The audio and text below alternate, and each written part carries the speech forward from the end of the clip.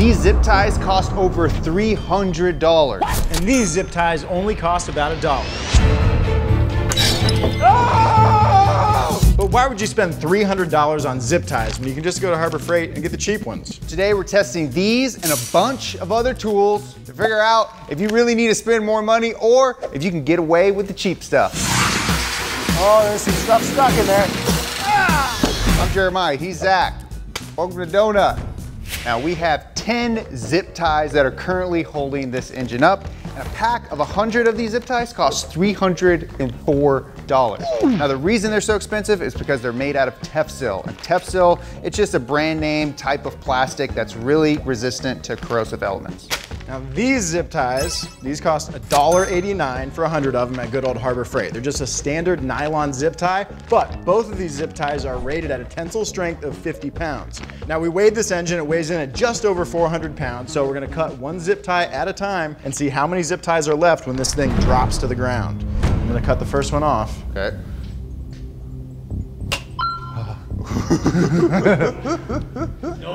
Simultaneously really like this and Yeah. hate it. Okay, you ready? Yep. Going down to eight. Oh God.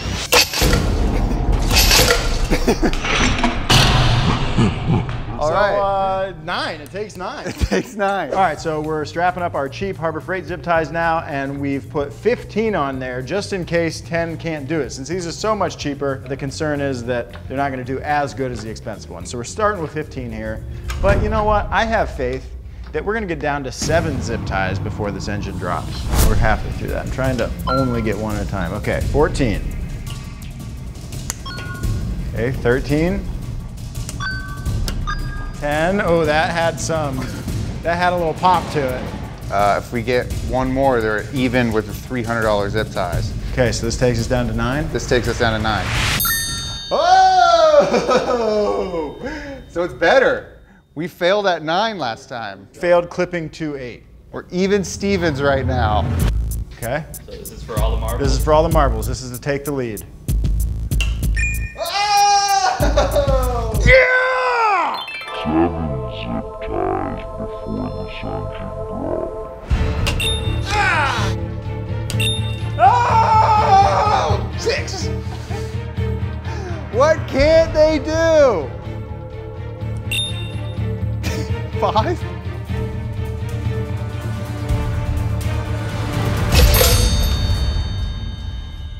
Hey, She was. that's a freaking win. I cut through 11 of these zip ties. I was cutting the fifth to leave four zip ties holding the engine up when it fell. That's a huge improvement over your expensive, insane zip ties. Doll- How much were these? A dollar? Buck 89, baby. For a buck 89, you can't go wrong if you need a hoister engine with some zip ties.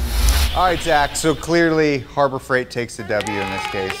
But the real reason these are so expensive is something we're gonna get to right after this message from our sponsor.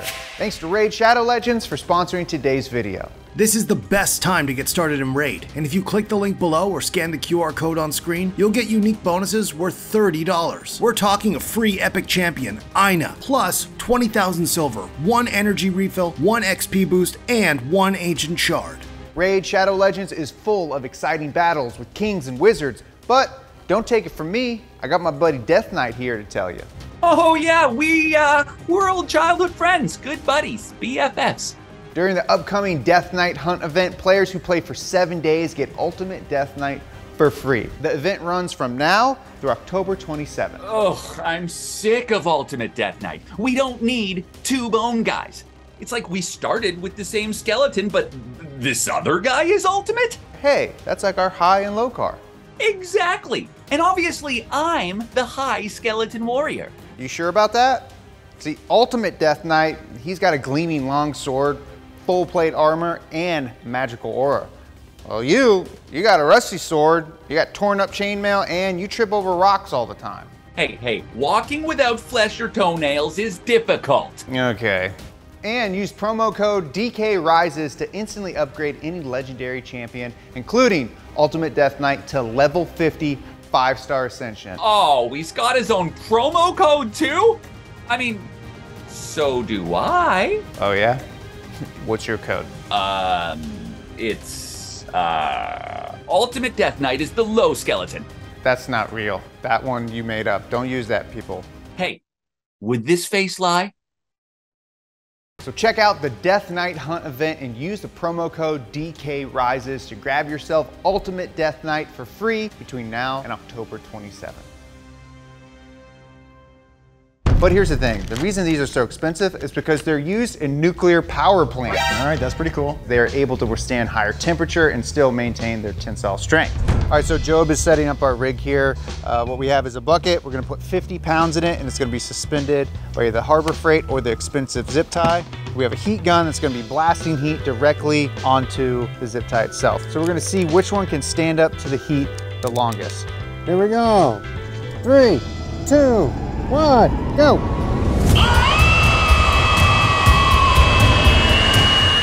Ever since I was little, ever since I was little, I would live life.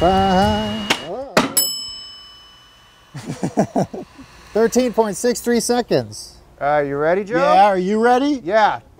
Three, two, one. That was quick. All right, Jer, what do you think? Which one's going in the toolbox? Which one you stashing? Which one you trashing? Dude, I'm stashing all HF all day, every day. No way am I paying $3 a zip tie. Okay, now we're testing air hammers. I've got my Harbor Freight unit, $12.99. And I got my Jupiter pneumatic $277 pneumatic air hammer. Hey, yours is longer. It is. It's got a longer snout. Now, an air hammer is a great tool for doing things that you would do with a hammer, but just by pulling a trigger, you can do it hundreds of times a minute. Uh, and these fit into tight spaces where it's hard to swing a hammer. Right off the rip, uh, this feels, you know, it feels like a standard air tool. It's cheap, but that's what Harbor Freight's known for. Okay, so let's talk some specs. This is around 4 CFM. Cubic feet of air per minute is just the uh, rate of usage of air. These are compressed air tools, so knowing how much air they consume as you use them is important because that lets you know whether or not your compressor can handle running them. Well, Joe, we actually have some studs right here. Spectacular. And what we're gonna do is we're gonna time how fast we can hammer out these studs on this wheel spacer. Yeah, but Three, two, one, go.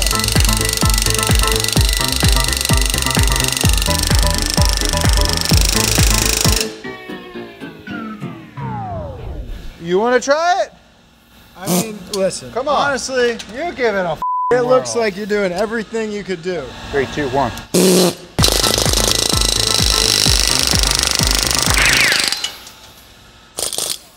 Twenty-five seconds.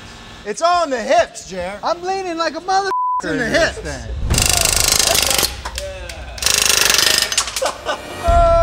Okay, now we've got a fresh spacer with five fresh studs. We're gonna try out the Harbor Freight gun, time it, see who comes out victorious.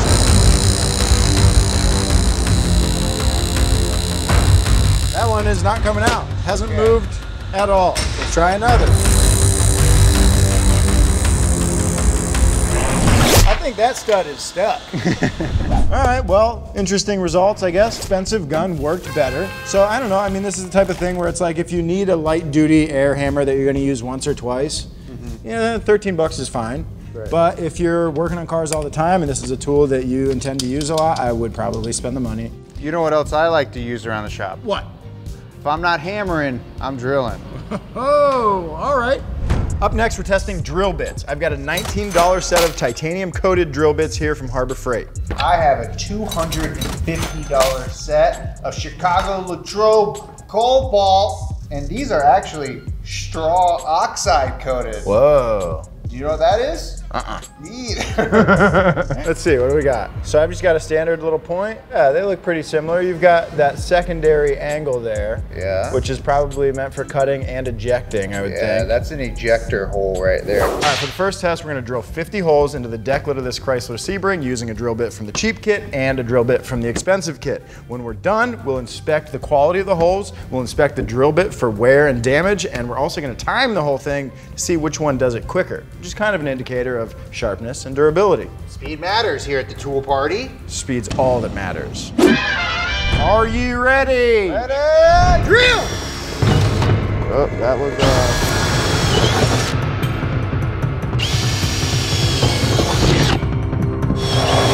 24. 25 holes. One minute, 44 seconds, and 44 one hundredths. Hell yeah. Okay, ready, set, go. Ooh, that. Oh, she's bent now. Oh, you bent her. 132.18. Okay, so I beat you. I beat you in time.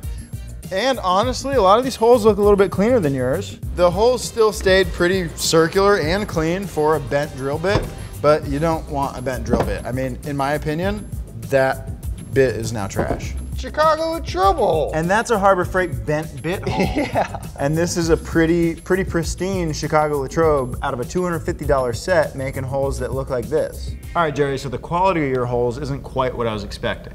But this is pretty normal use. I think we should torture test these things and see how they stand up. Let's get tortured. You've got a wrench here, which is made out of tool steel, very durable, hard to drill through, and we're gonna drill through it pretty badly, really, the way that you shouldn't. We're gonna do it quick. No lube, full speed, see what wears out. Just smashing down on it. All right, so up first is our Harbor Freight drill bit out of a kit for $18.99. Okay, let's go. Okay, here we go. Oh, she's smoking. Oh, look at that. That was cool. What, did it break off? It melted. We, we went orange red. You know, we got like red hot down at the tip. Then it did like a bend thing. The drill bit bent, it looked like, and then kind of snapped back to straight. It caught it, caught it, It, huh? uh, it literally didn't do much of anything. Cheap drill bit wore about like I would expect a spaghetti noodle to wear. It didn't really do anything at all, just melted. And uh, it doesn't look like there was ever a sharp tip there. So that's an absolute failure. I'm really interested to see what your expensive bit does. Okay. Shall we? Let's do it. Okay, you ready? Yeah.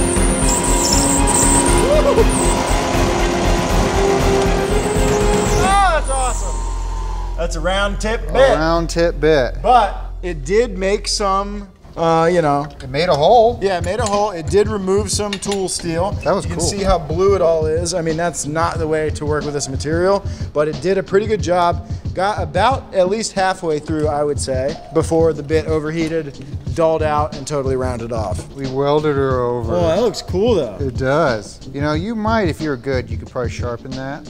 Yeah. If you're drilling often and it's something like if you have a drill press set up and you commonly are moving through metal and stuff like that, you want something that's going to be able to do that repeatedly over time. What we did here was accelerate wear, right? You know, imagine drilling through sheet metal a thousand times and doing it properly. That cheap drill bit would wear down over that time, but I'm not sure. I think the, the more expensive would do a lot better. Yeah. And by the way, we filmed a way deeper analysis on these drill bits that we couldn't fit all into this video. So we're gonna post that on the Donut Underground. For more information on that, hit the join button down below. Up next, we're testing shop vacs. I got a $60 unit here made by Bauer from Harbor Freight. And I have a $620 unit shop vac, brand name shop vac. Why is yours so big? I don't know what the Lord gave me. You know, you spent six times the money. I know, so does it have six times the sucking power? Not about the size of the sucker. All right, so we have a nice little test here that Kanan and Jimmy set up. Sand, sand with a little bit of debris. That looks like a cigarette butt. It is. Nice. And then we have various fasteners and hardware and more trash and what looks like a big grave digger there. Which, Yeah, I don't know if that's gonna go. so we're gonna hit each line individually, one at a time, and then we're gonna time how long it takes to suck all the sand and debris up. Does that sound good? Sounds great. Well, let's see. Are you ready? Yeah, I'm revving it. That's how you know I'm ready. two, one, go. Looks pretty good, Joe. Yeah, it's, it's moving a little slower than I thought it might, but Yeah. that's because I'm so down on power, you know? Right.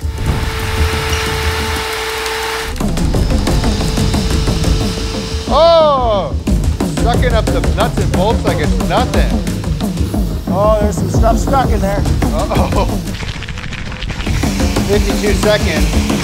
Uh-oh. In total, Jobe, three minutes, 11 seconds to do three lines. Hey, not bad. Not bad, but you know See what? See how your 10 times more expensive shop vac does. Three, two, one, suck! what the f- What? You didn't sucking that great. It's on you, dog. Oh, he's being impeded by the chunks.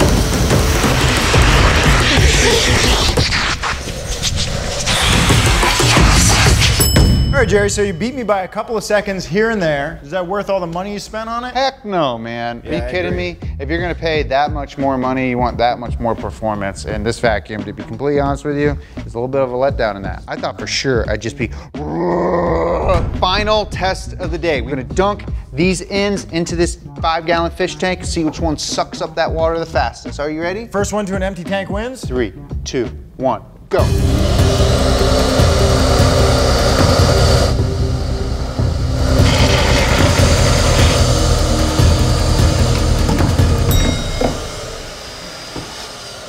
I got you by a tenth of a second at least. and mine's drier. Easily drier. Argue that, Jerry. Uh, well, you know what? What? That is a super bummer. For you. I know. Actually, you know what? That's kind of good news. It shows that you don't have to necessarily spend as much dang money to get just as good of a, Yeah. a tool. 620 bucks for this thing. It doesn't suck any faster. So, uh, I don't know. This is a pretty clear winner. I think the Bauer takes the cake. At a tenth of the price. At a tenth of the price. And Even if it was slower, still the winner in my mind. 650 bucks is insane to me. It would have had to like pick a car up. what's up, guys? We got a brand new item on donutmedia.com. This sick real mechanic stuff hat. This thing is custom made in the US of A. It's not a blank. Oh no, we made it ourselves. And you can get yours right now at donutmedia.com. Thank you guys so much for watching. Follow us here on Donut at Donut Media. Follow Zach at Zach Jobe. Follow me at Jeremiah Burton. We're different people. Till next time. See you guys.